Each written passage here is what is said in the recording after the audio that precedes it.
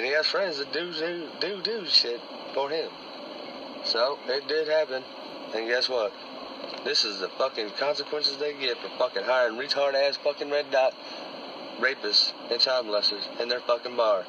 What kind of fucking bar wants to have their kind of fucking people waiting on people?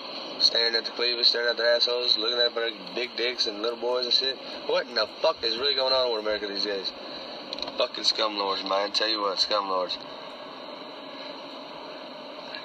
So, we're gonna go ahead and get the fuck up out of here, man, because this fucking scumlord place ain't nothing but a fucking piece of shit.